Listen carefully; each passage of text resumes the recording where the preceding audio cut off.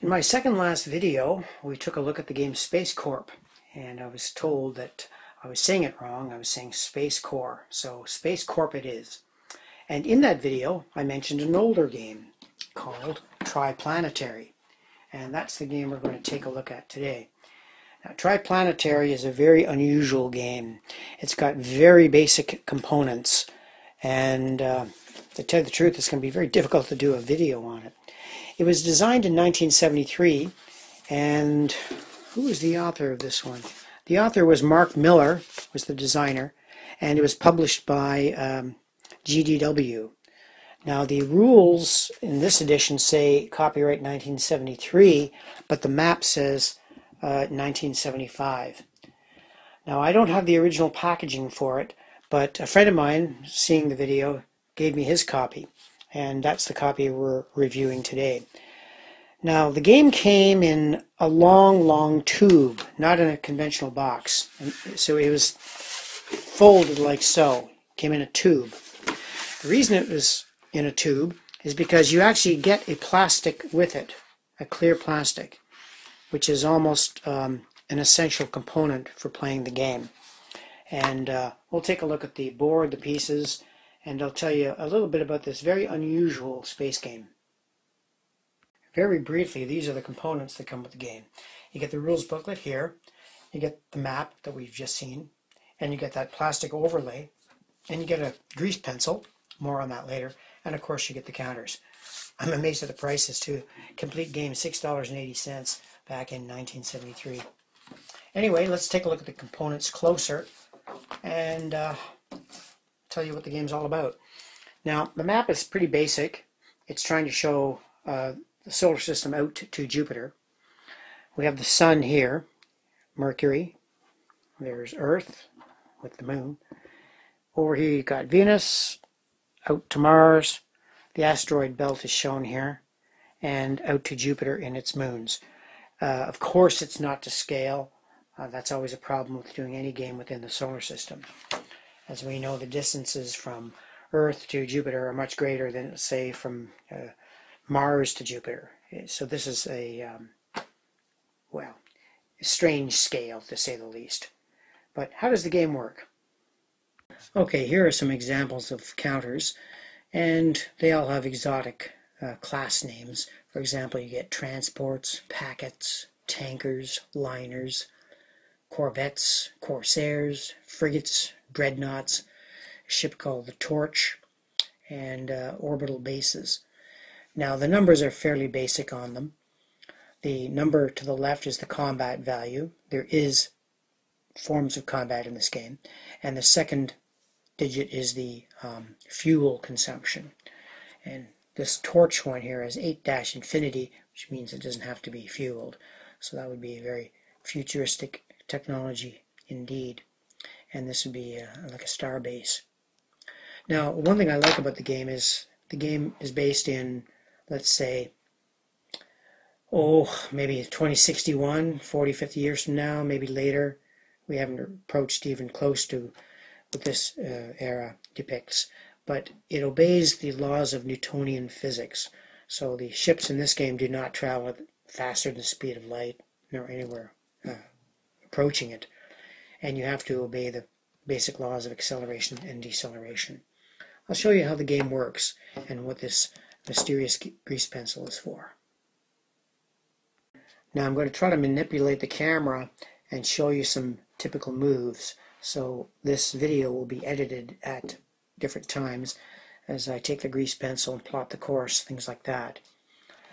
But most games begin with our scenarios. I should point out too that there's no one campaign game in this. The game consists of a series of scenarios, and you can make your own too. That's one nice thing about it. Let's show you how space movement works in this fascinating little game. There we've got the Earth, of course, and the Moon. Now, on turn one, when you blast off from the planet, you enter the gravity well of the Earth. Let's say, for example, the ship blasts off and enters uh, the gravity well of Earth. That consumes one fuel. So we'll call that turn one.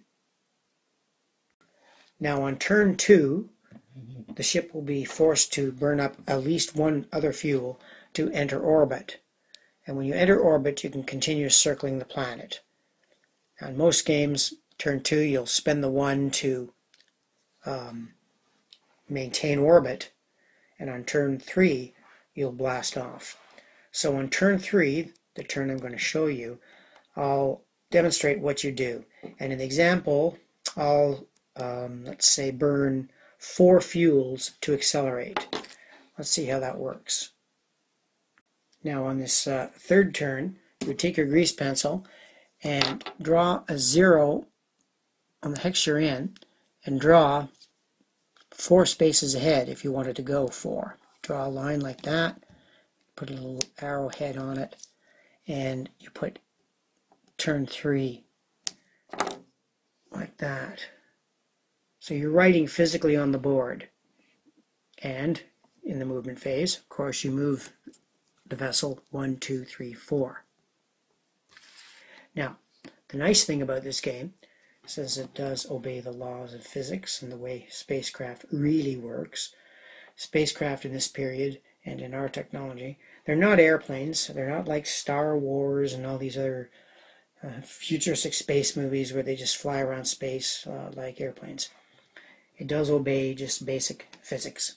So on the next turn, which would be turn four, you're automatically going to go four more spaces. So let's plot that.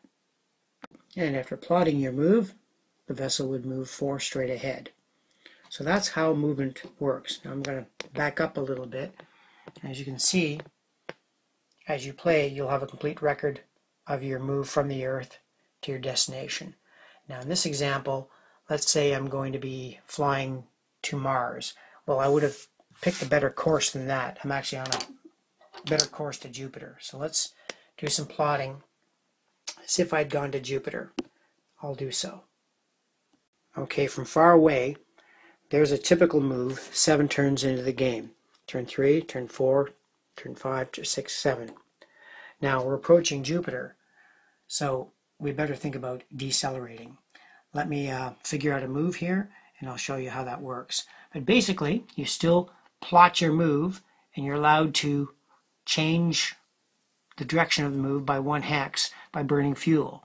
But I'll give you an example of that in a moment. Let me plot the move and I'll show you how that's done.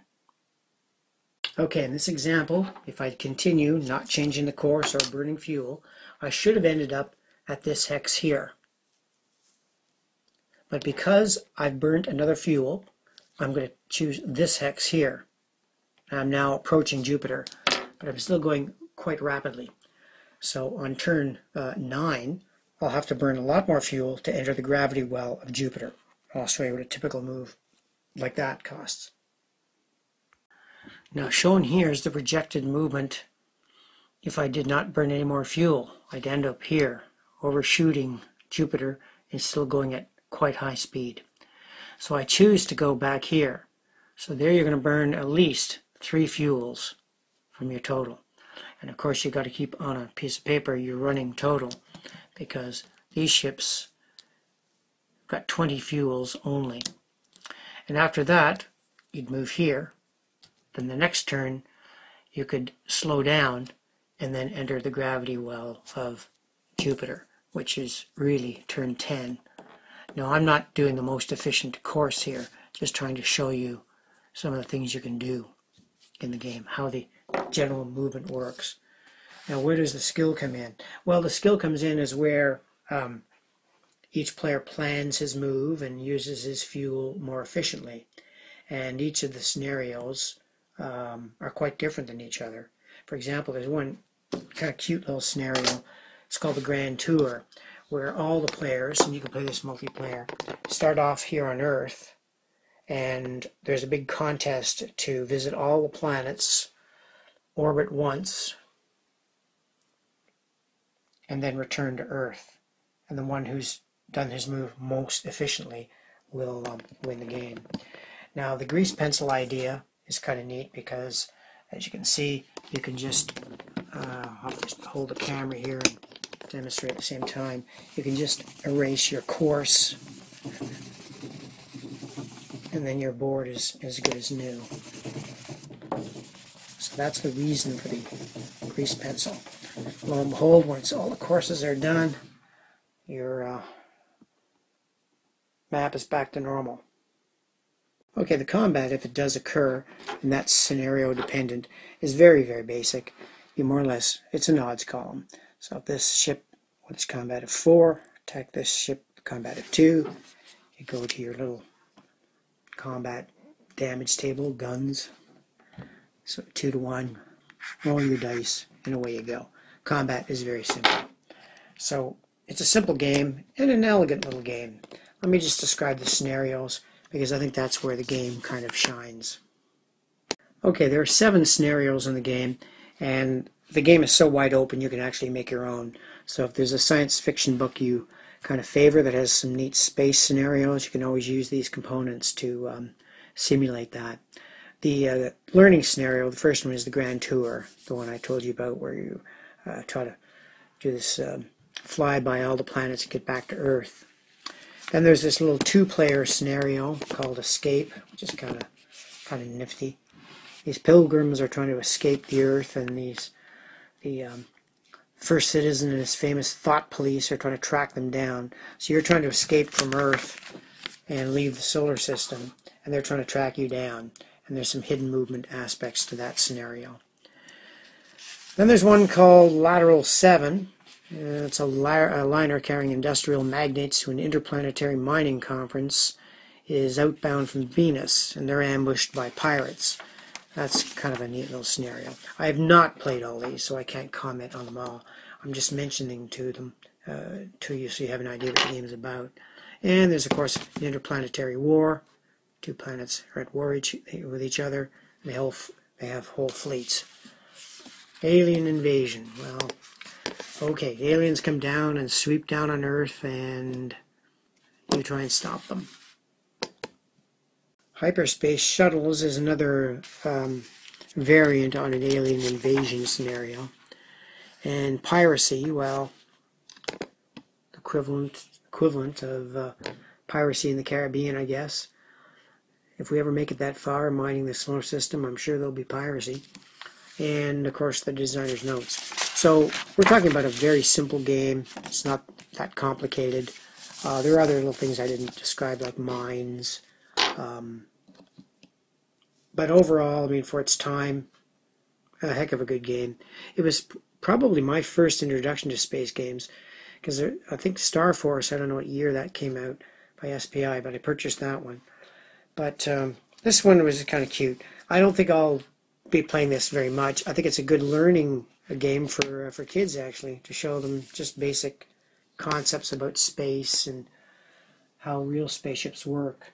So um, that's all I really have to say about Triplanetary. Um, like I said, I don't I don't see me playing it anytime soon. But uh, thank you, Harry, for lending me the game, and uh, thank you for watching.